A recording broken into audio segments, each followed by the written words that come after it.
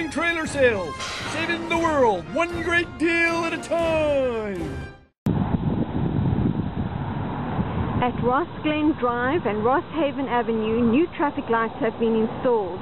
They'll be in operation from the 13th of July. I'm Gillian Slade for Medicine Hat News.